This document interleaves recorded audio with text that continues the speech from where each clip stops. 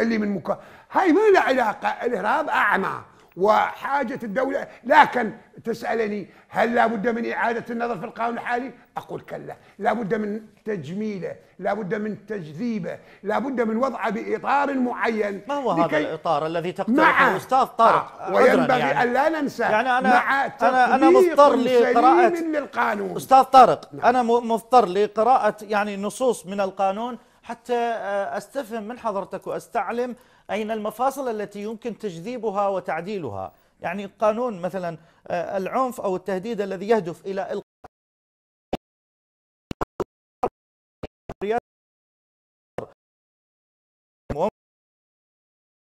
أي هو مشروع إرهابي منظم فرديا أو جماعي. أستاذ شنو اللي تعدله مثلا؟ ترفع قضية الرعب وتخلي مكانها الراحة النفسية. شنو شنو اللي لا لا, لا, لا أخلي فقط قانون الإرهاب ينطبق على العمليات اللي المفخخات. تمام لولا حضرتك إيه. الآن الارهاب من يصير قتل. حتى وإن كان ينطبق أحكام قانون والكاتم. الإرهاب. أستاذ ويصدر الحكم بالإعدام على قانون الإرهاب. لكن الناس من السيله فلان قتل فلان فلان منطقة ما يقول لك هاي جريمة إرهابية يقول لك جريمة قتل. لكن بما أن الحكم يصدر في الماده أربعة أزداد عندنا عدد الجرائم اللي يصدر عليه في قانون الإرهاب. في حين لابد أن تنصرف أحكام قانون الإرهاب إلى الإرهاب الحقيقي. اللي مثلا جنابك اللي ما تفضل به معالي النائب الأستاذ الصالحي. نعم.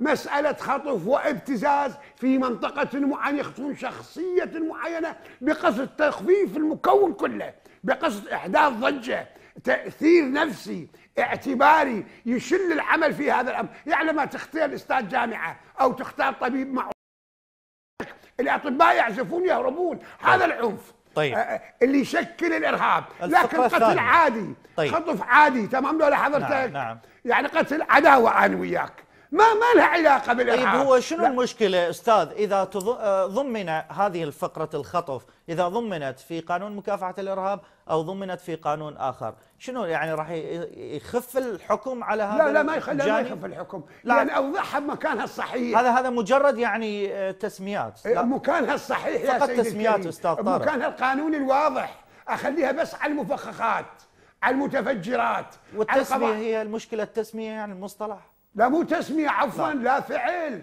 الركن المادي للجريمة موضوع الجريمة يجب أن يحدده. نهائيا ليس بألفاظ أو كلمات أو عبارات نحو ما تفضلت. طيب. وإنما المقصود بها الفعل الإرهابي يعني طيب. يعني المفخات. طيب أستاذ يعاقب بالسجن المؤبد من أخفى عن عمد أي عمل إرهابي أو آوى شخصا إرهابيا بهدف التستر. هذا وين تخليه؟ يا سيدي الكريم هذا نعم. أساسا طالما أن العقوبة ليست بعقوبة إعدام. فيعاقب بالسجن المؤبد ممكن الاستدلال به والنزول آه، طبقا للصلاحية المقررة للمحكمة موجب قانون العقوبات إلى حد خمس سنين. نعم, نعم النص. لكن أحيانا بقضية الإعدام يكون إشكال معين. بتصور الم... يعني أضرب لك مثل بسيط. نعم. بربك يروح من بغداد يصير مخبر سري بالرطبة هو.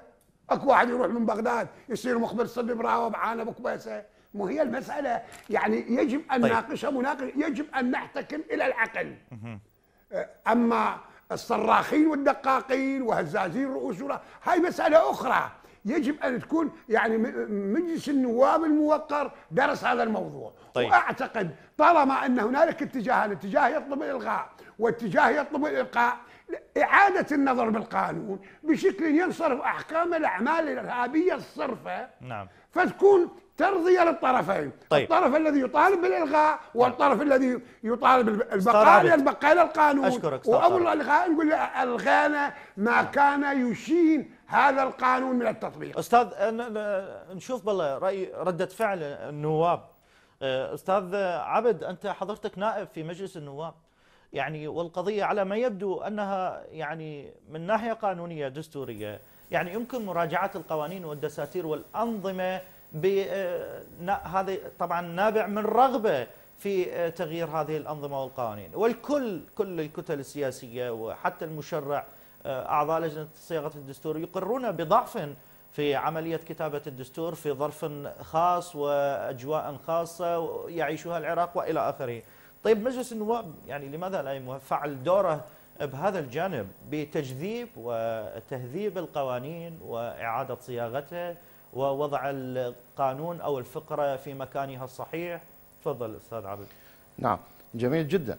ولكن في ظل الضجيج الحالي ومجلس النواب ليت هذا السؤال تسأل بعد أن تأتينا مسودة تعديل أو استعراض القوانين المثيرة للجدل. لدينا الآن مجموعة من القوانين المثيرة للجدل.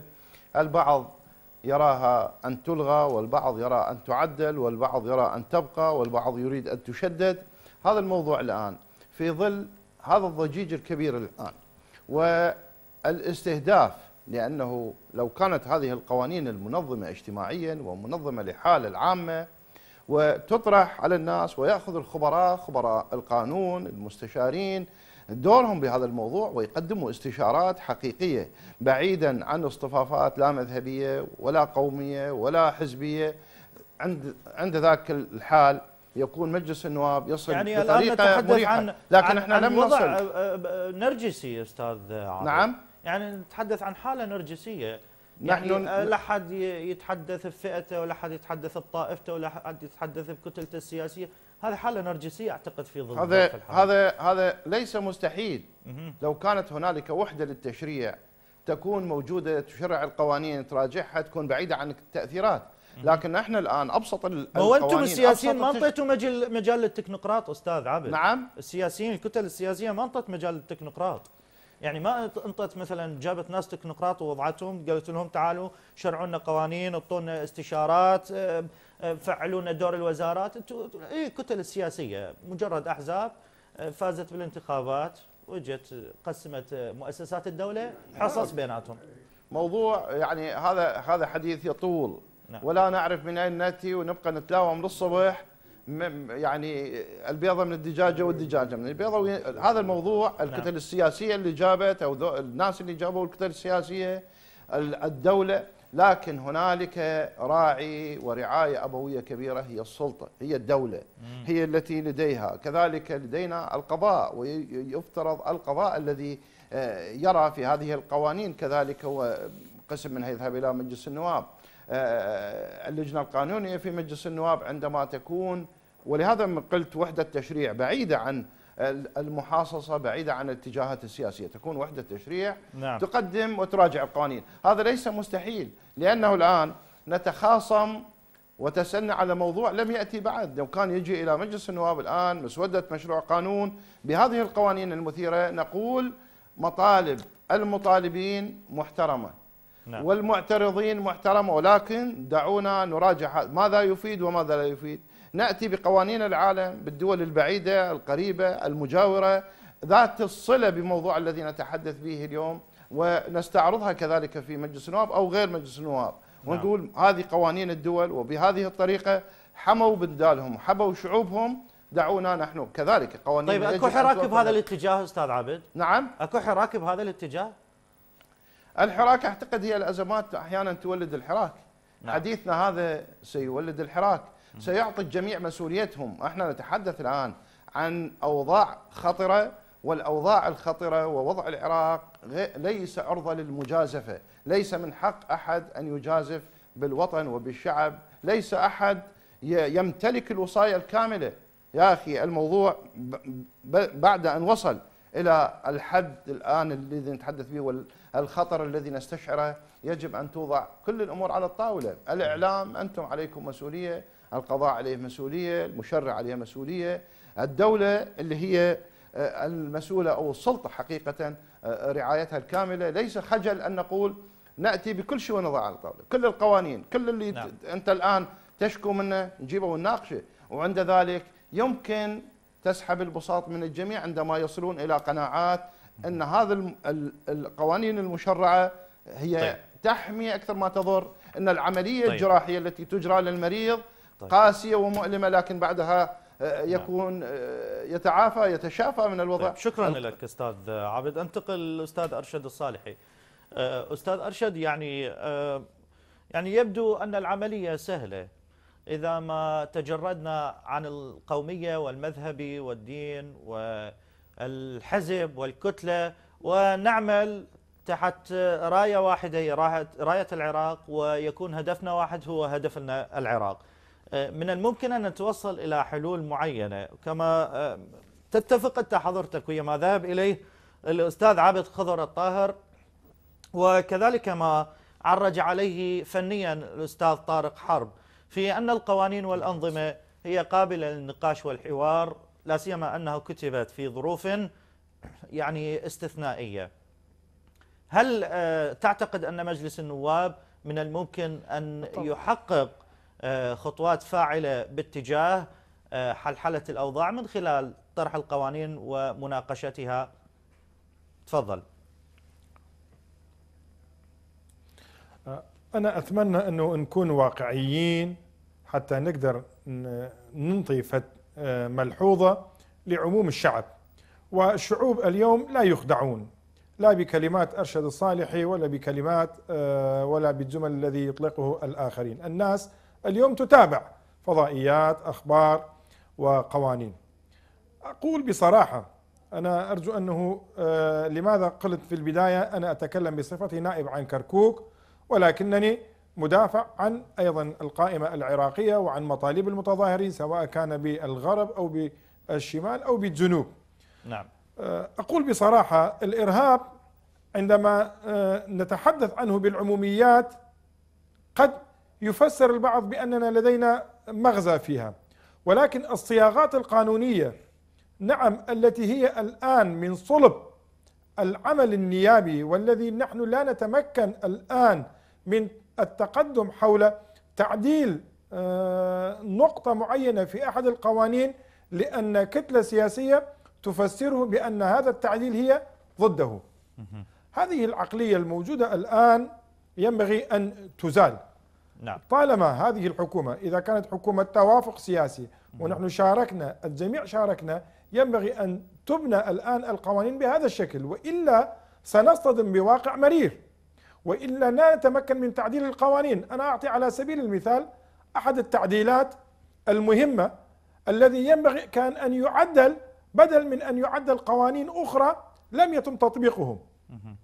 قانون هيئة دعاوى الملكية نعم. لعام 2000 أعتقد 9 2005 2006 هذا القانون في وقتها عندما تم صياغته بشكل آه، لحد الآن تطبيقاتها على أرض الواقع غير مجدية نعم. وعندما يتقدم عندما تتقدم جهة سياسية لتعديل فقرة بسيطة معينة منه نرى بأنه كتلة سياسية نيابية داخل مجلس النواب تقف حجر عثرة أمام كل طلبات المواطنين لأن هنالك جهة سياسية مؤثرة على العمل ويظلم الآخرين على حساب هذه الجهة السياسية طيب. هذه ينبغي طيب أستاذ أرشد يعني عذرا. الحقيقة حضرتك يعني افهم من كلامك أن هناك مشاكل في تطبيق الأنظمة والقوانين.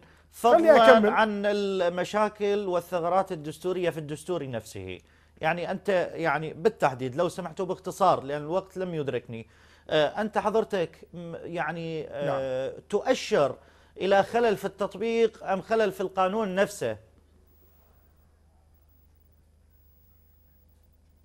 لا اولا أنتم أشرتوا إلى الدستور وإلى القوانين الدستور كتب في وقت عاجل وإعادته وتعديلاته أمر نعم. مطلوب هذا ما ممكن أن نناقش عليه نعم. وبعض القوانين التي صدرت في وقت معين نعم, نعم بحاجة إلى تعديل ولكن التطبيق السيء لهذه القوانين في بعض المناطق تثير ال ال الاختلاف عند مكون معين ولذلك نصل إلى هذه النتيجة. نعم. وعندما تقول جنابكم بأننا علينا أن نتزرد من القومية ومن الطائفية نعم.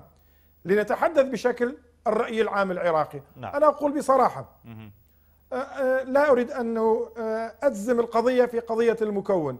مم. هذا الشعب التركماني دفع فاتورة الوطنية ماله واليوم يستهدف.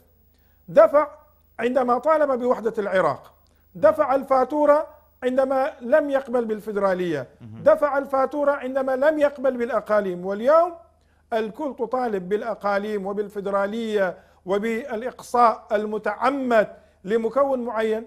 أنا كنت أتمنى من الجميع أن يتكلم بلغة الوطنية واللغة العراقية وهذه الخيمة. نعم خيمة كبيرة تجمعنا جميعا ولكن ليس فقط في الشعارات وإنما في التطبيق. عندما نأتي إلى داخل البرلمان لا.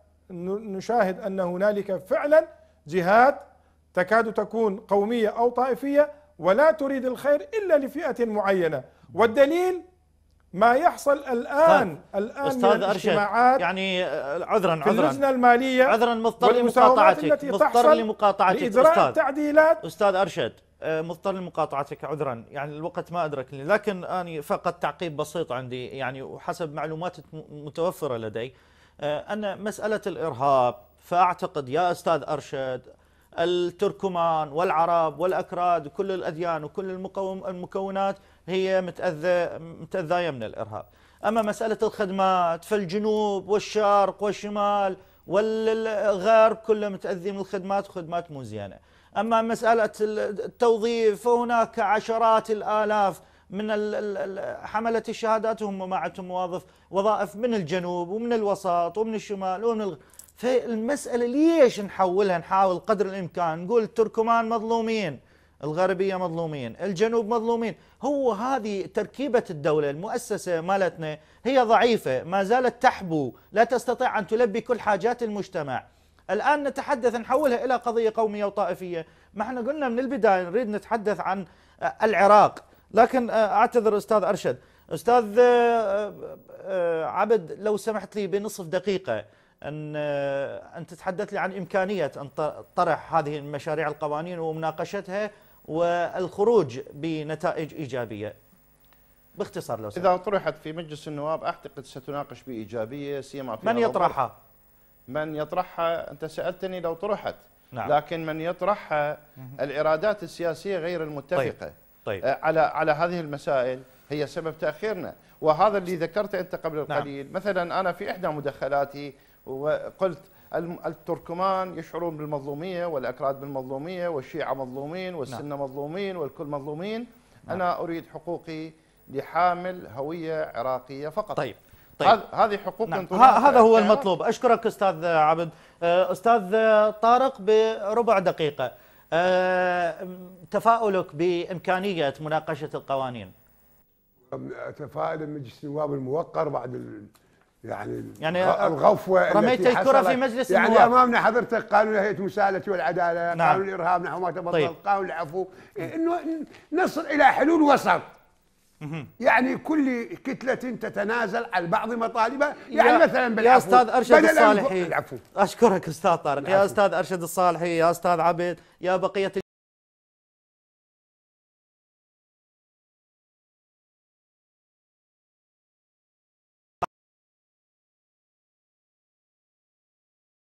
القانون ولا تجيبون قانون جديد ولا تصرون على تنفيذه في القضية قابلة للنقاش في النهاية. أشكر ضيوفي الأكارم الأستاذ أرشد الصالح النائب عن محافظة كركوك كما يحلو له. انضممت إلينا من بغداد. شكرا جزيلا لكم والأستاذ عبد خضر الطاهر النائب المستقل. شكرا جزيلا لك والخبير القانوني الأستاذ طارق حرب. شكرا جزيلا انضمامكم إلينا في هذه الحلقة من برنامج مفترقات مشاهدينا الكرام. أشكر لكم حسن المتابعة. نلتقيكم في حلقات مقبلة. إلى ذلك الحين نستودعكم الله. والسلام عليكم ورحمة الله وبركاته.